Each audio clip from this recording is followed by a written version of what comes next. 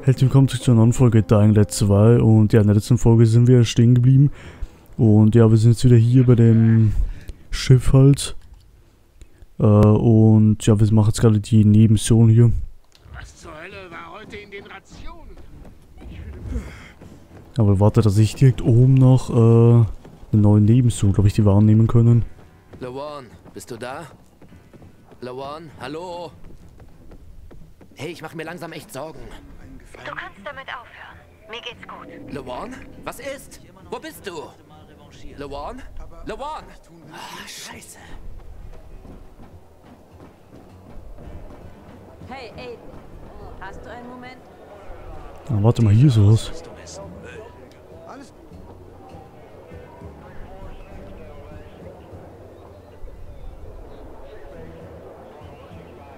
Okay, ich würde sagen, das nehmen wir mal an.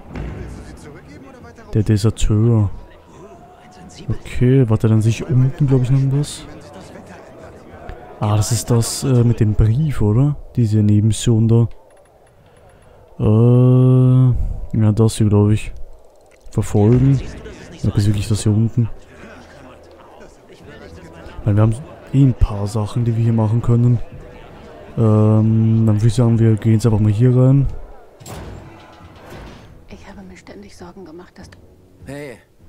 Leons Frau? Ja, Kyra. Wie kann ich helfen? Am VNC Tower war ich auf einer Mission und äh, traf deinen Mann. Ich kam her, weil Nein. Psst. ich wollte, dass du... Sag nichts. Ich weiß, dass du der Pilger bist.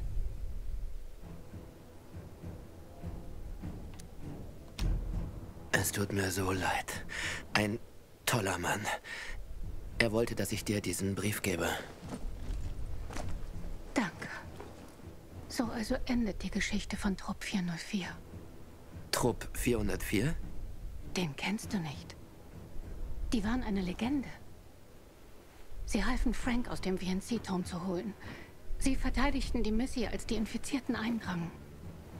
Sie waren Vorbilder für jeden PK. Und an diesem Punkt sollten wir ihr Andenken ehren.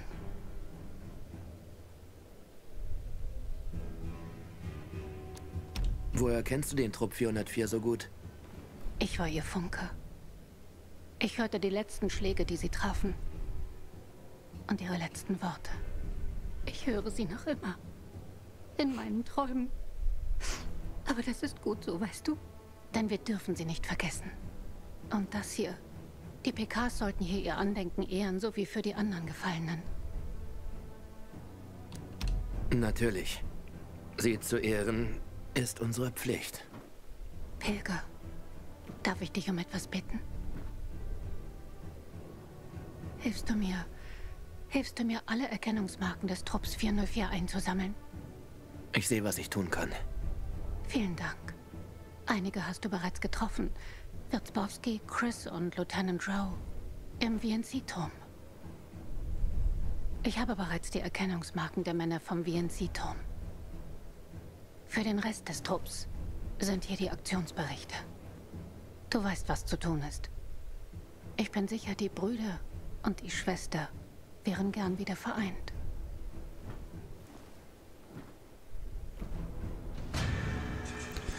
Okay, dann haben wir die Quest jetzt abgeschlossen. Und, okay, da haben wir ein paar Zettel.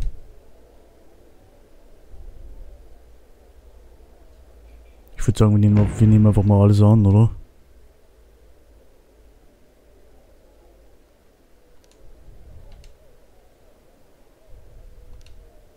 Wenn ich die Augen zumache, sehe ich Leon an der Torsava. Okay.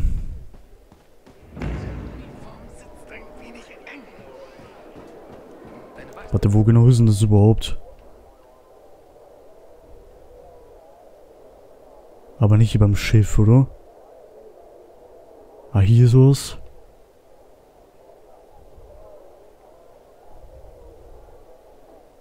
Okay, und die anderen sehe ich jetzt gerade nicht wirklich. Das ist nur diese Kuriermission da. Okay, es ist einfach mal, es ist eigentlich erstmal egal. Und dann würde ich sagen, wir machen diese andere Mission weiter.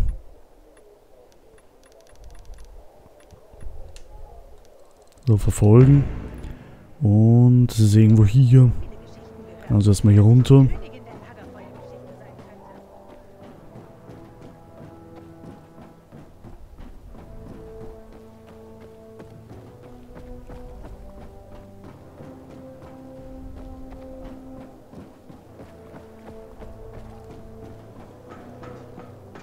Okay, dann erstmal das Schloss knacken.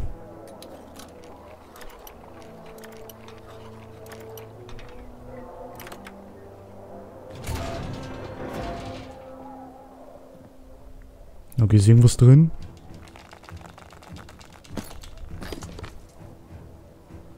Okay, das ist leer anscheinend.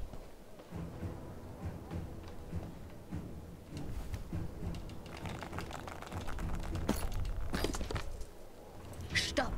Eine falsche Bewegung und ich spieße dich auf wie ein Spanferkel. Du, du bist also ein Dieb. Was ist das? Raus mit der Sprache. Leck mich. Das ist meine Wohnung. Verzieh dich, ehe ich die Wache rufe. Tu dir keinen Zwang an. Die Wache interessiert sich sicher auch für dein Gift. Du hast Josh also gefunden. Und er hat dir erzählt, ich wollte ihn vergiften, hm? Und dass du im Moment einen Mann aus dem Bazar betrügst, um an seinen Laden und sein Geld zu kommen.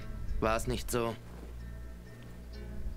Aber mit dem Töten kennst du dich natürlich aus, oder? Hey, wir müssen alle irgendwie überleben. Wenn ich mich von Kerlen mit Geld überhäufen lasse und sie mich mit Geld überhäufen wollen, dann haben beide Seiten was davon, oder? Aber getötet habe ich noch nie. Niemals. Warum sollte ich dir glauben? Du glaubst einem Säufer. Warum nicht auch mir?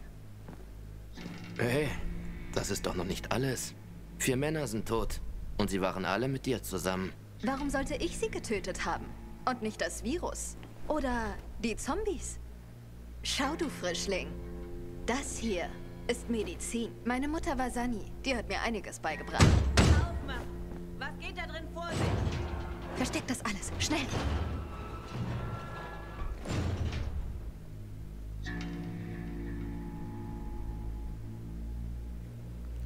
Ja, wir sollten es eigentlich sagen, oder? Elena hat vier Leute getötet. Und zwar mit diesem Gift. Das ist kein Gift. Schau doch hin. Frag Barbara, die Seuchenhexe. Sie hat einen Laden auf der Insel St. Paul. Sie wird dir sagen, dass ich nicht lüge. Diese Schwindlerin? Tja, wenn das deine Kronzeugin ist, dann stirbst du morgen.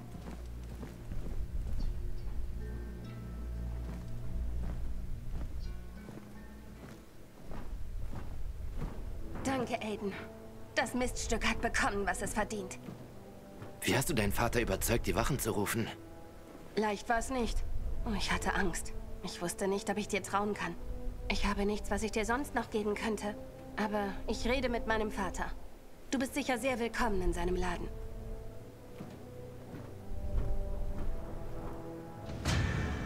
Okay, Quest abgeschlossen. Ich hoffe nur, dass das halt wirklich Gift war. Aber ich denke mal schon irgendwie. Okay. Dann haben wir das auch fertig. Und zwei Sachen haben wir noch. Ah, warte, sehe hier. Das, äh, okay, dann müssen wir nach Details fragen. Und die Story-Mission ist dann auch noch hier. Das können wir auch direkt noch weitermachen.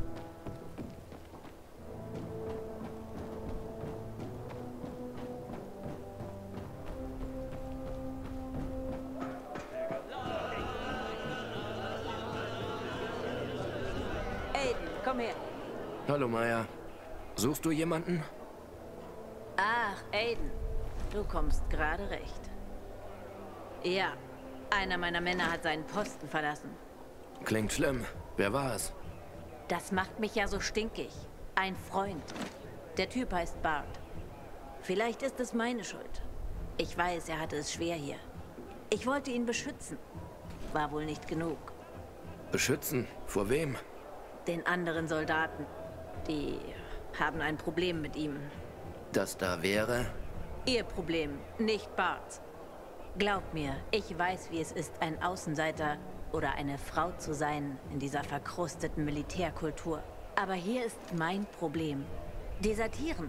Darauf steht allein schon die Todesstrafe. Aber was er mitgenommen hat, könnte zudem gute Männer das Leben kosten. Was hat er gestohlen? Nennen wir es eine Karte. Mehr kann ich dir nicht sagen. Der Rest ist geheim. Und du musst es nicht wissen. Ich soll ihn für dich aufspüren. Ja, in all dem Schlamassel habe ich dafür einfach keine Leute frei. Aber ich brauche diese Karte zurück. Na schön, ich hol dir die Karte. Aber was ist mit Bart? Wenn du mir die Karte wiederbringst, sag mir einfach, wo er ist. Und überlass mir den Rest. Das ist meine Aufgabe. Gut. Wo fange ich an zu suchen? Versuch's mit seinem Schlafplatz. Im Quartier, ein Stock über uns. Kann ich jemanden nach Bart fragen? Klar, er war ziemlich bekannt. Ob ihm das gefallen hat oder nicht. Er war bei den neuen Rekruten beliebt. Frag mal Matteo. Er hängt meistens in der Waffenkammer rum. Und da wäre noch Magda. Hat nie ein gutes Wort über Bart verloren. Aber auch über niemand anderen. Sie arbeitet im Lazarett, einen Stock höher. Schön, weiß ich Bescheid. Viel Glück, Eden. Okay.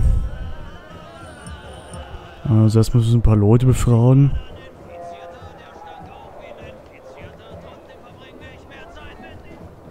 Okay, hier ist gleich wer. Süße, süße Killer. Hey, bist du Matteo? Wir haben uns schon gesehen. New Dawn Park. Du hast nach Lieutenant Rowe gesucht und mich vor den Abtrünnigen gerettet. Oh ja, stimmt. Hör zu, Matteo.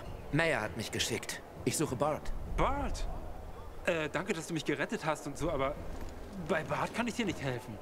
Ich will nur... Nein, sorry. Ich habe ihn ohnehin schon ewig nicht gesehen. Frag mal Garrett. Ich habe gesehen, wie er Richtung Kaserne gelaufen ist. Mein Gott. Okay, okay, ich gehe ja schon.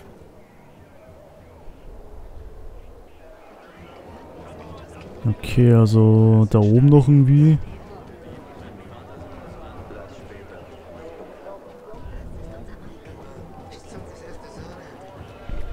Warte mal, dann gehen wir mal hier nach hinten.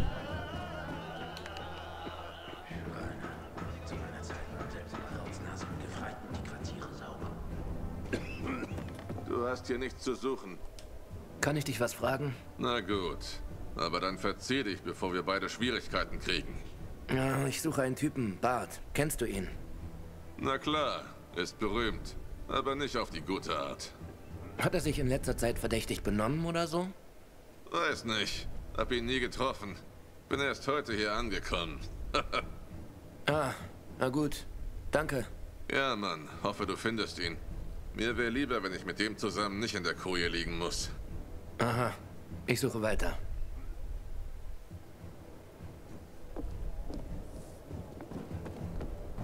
Warte mal, sind wir hier überhaupt, überhaupt jetzt richtig? Okay, warte mal, hier ist zu. Und da wahrscheinlich auch. Also, ich suche einen Typen. Bart. Hast du ihn gesehen? Leider nicht, mein Sohn. Und ich bin echt tief enttäuscht. Warum das? Hat ein gutes Herz, gute Seele. Bisschen auf verlorenem Posten hier, um ehrlich zu sein. War etwa ein Jahr hier bei uns. War ganz anders als die typischen Militärneandertaler hier. Er war gütig, aber nicht schwach. Ging gegen Despoten vor. Egal, ob dies auf ihn oder auf jüngere Rekruten abgesehen hatten. Hab gesehen, wie er aufs Maul gekriegt hat, als er für die Frischlinge eingetreten ist. Aber dann hättet ihr erstmal die anderen sehen sollen. Die ganze Schikane ist echt weniger geworden, seit Bart da ist. Gibt's ein verrücktes Gerücht über Bart hier, das Maya komplett auf die Palme bringt. Aber ich glaub das nicht. Bart würde niemals austicken. Ist einfach nicht seine Art. Wenn du ihn findest, wird er dir bestimmt eine vernünftige Erklärung dafür geben. Wenn ich ihn finde. Na, seine Koje ist da drüben. Schau mal nach. Vielleicht findest du was, was dir weiterhilft. Gute Idee. Danke.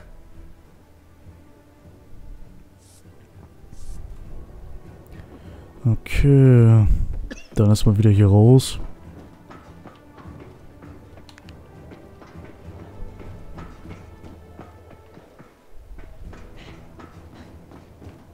Warte, komme ich da sonst irgendwie nach oben?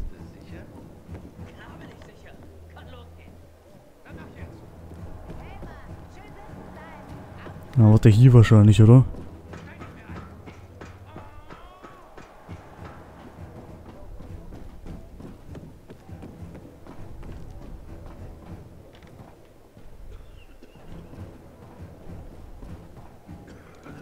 Warte mal, kann ich irgendwas machen?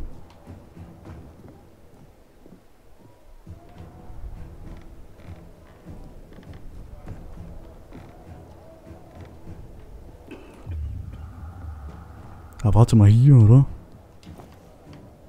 Ah, da sind ein Zettel.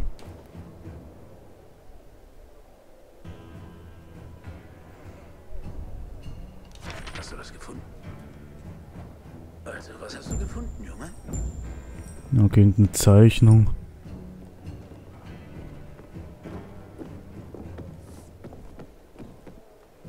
Warte mal, hier waren wir doch vorhin, oder nicht? Hm. Weißt du was hierüber? Nicht wirklich, aber ziemlich gut. Gute Kreidetechnik, wenn du mich fragst. Wer hat das gezeichnet? Kann ich dir nicht sagen. Ich habe Bart im letzten Jahr immer mal wieder mit solchen Bildern gesehen. Aber soweit ich weiß, hat er selbst keine Kinder. Ach, die Kinder. Meine sind schon erwachsen. Und nicht alle sind noch am Leben. Leider. Aber ich erinnere mich, wie jung und glücklich sie waren. Die haben immer gezeichnet. Haben kistenweise Buntstifte verbraucht. Das Kind, das das gemalt hat, das ist ein glückliches Kind. Aber wenn Bart keine Kinder hat, woher hat er es dann? Vermutlich ein Kind von einem Freund oder so. Er mochte alle. Hier, da, überall, außer du warst ein fieser Tyrann. Hm, das hilft mir nicht weiter. Was mache ich jetzt? Frag mal Stach bei der Kantine drüben. Ich habe die zwei ein paar Mal zusammen gesehen. Bart half ihm, als er in der Klemme steckte.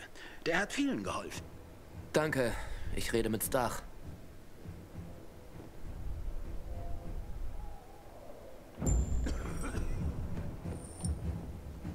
Danke, warte, dann müssen wir das mal wieder runter.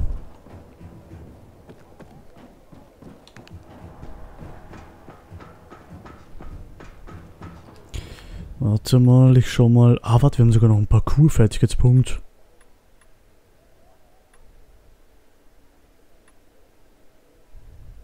Ah, das wäre geil. Das hole ich einfach mal. Okay, dann... Warte, was ist denn das hier unten dann? Ah, da kann man auf so einer Wand laufen oder so. Das ist geil. Okay, warte mal, ich würde sagen, ich schau mal kurz hier rein. Das ist ja die Mission.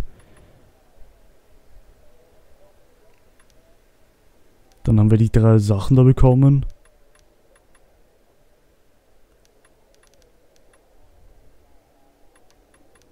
Warte, und das ist ja, ja, das stimmt, das ist die Story-Mission. Okay.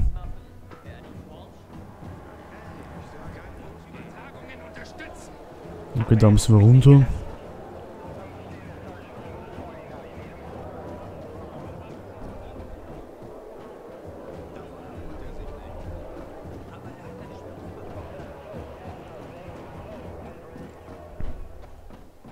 Hey, ich hab da ein Problem. Warte, wo müssen wir jetzt genau hin?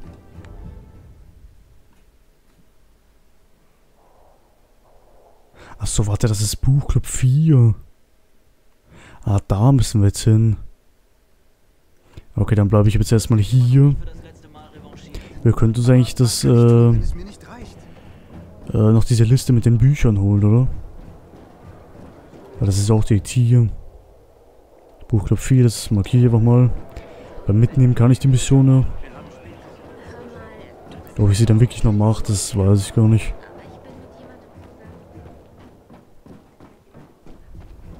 Obwohl es eigentlich schon ganz gechillt ist, die Mission. Also auch halt die Kurier-Missionen sind eigentlich auch ganz geil. Da muss eigentlich immer nur irgendwo hinrennen und das war's eigentlich schon. Okay, warte mal. Stimmt, wir müssen wieder da nach oben. Und ja, die Buchclub-Missionen halt wie gesagt auch.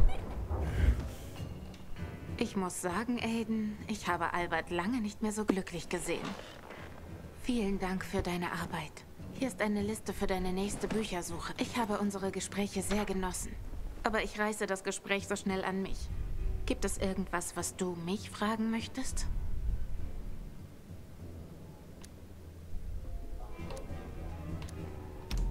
Eine Sache würde ich aber doch gerne wissen. Wunderbar. Was möchtest du wissen? Ich weiß ja, dass du eine Romantikerin bist, aber wie denkst du über Themen wie Wissenschaft? Eine interessante Frage. Hoffentlich wird meine Antwort ihr gerecht. Wobei deine Frage klingt, als seien dies völlig verschiedene Enden eines Spektrums. Für mich aber liegen diese Ideen eng beieinander. Ob es Wissenschaft oder Romantik ist, die Antworten auf Fragen sind oft qualifizierte Vermutungen auf Grundlage von Beobachtungen. Aus einem anderen Blickwinkel führen dieselben Informationen zu anderen Antworten. Die Sonne beispielsweise war einst ein flammender Gott, der sich mit verbesserten Beobachtungswerkzeugen als brennende Gaskugel entpuppte. Wie stehst du zur Wissenschaft? Besonders angesichts ihrer Rolle bei unserem aktuellen Chaos.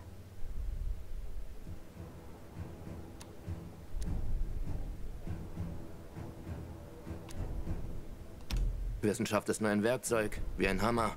Man kann sie nutzen, um ein Haus zu bauen oder um sie in einem Schädel zu versenken.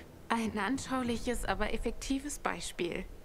Hoffentlich werden wir mehr Häuser und weniger von dem anderen sehen. Komm bald wieder, damit wir nochmal quatschen können. Natürlich, ich freue mich schon drauf.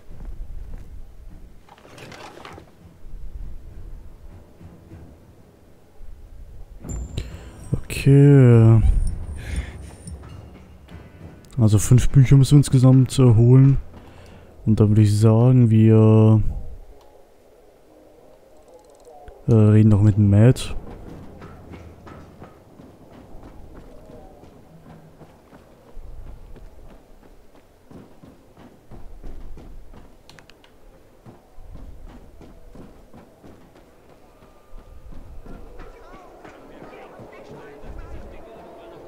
Okay, das ist da oben irgendwo.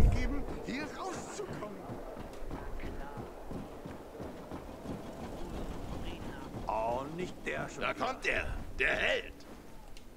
Ihre Nachricht kommt jetzt offenbar laut und deutlich durch. Ha, ich schulde Ihnen was, Aiden. Wirklich.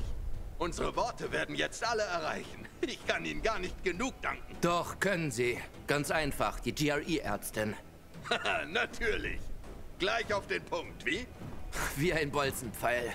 Ah, es ist echt ein Jammer, dass Rowe und die Jungs nie sehen werden, was sie erreicht haben. Dennoch, die Aufklärungskampagne funktioniert. Und was ist das absolut zentrale Element einer Aufklärungskampagne?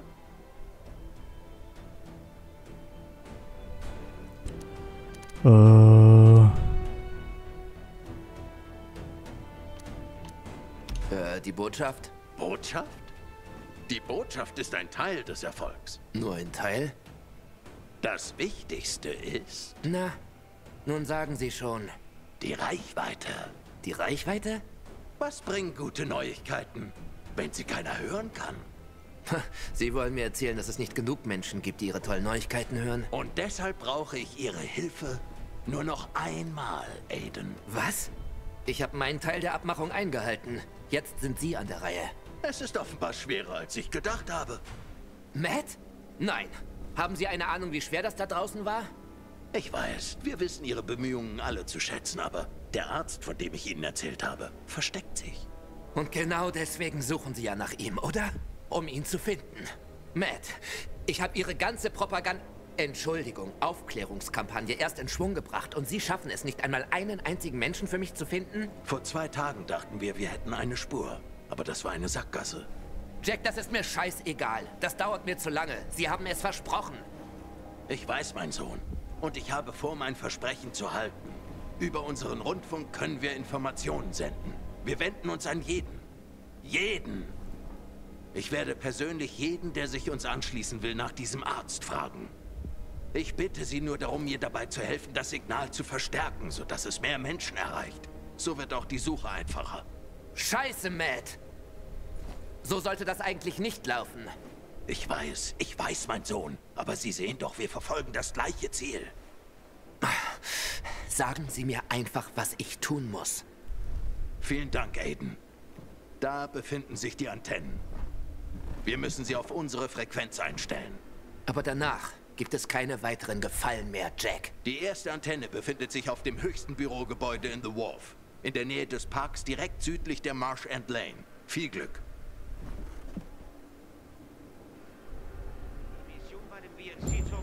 Okay. Zur ersten Antenne gibt es noch mehr.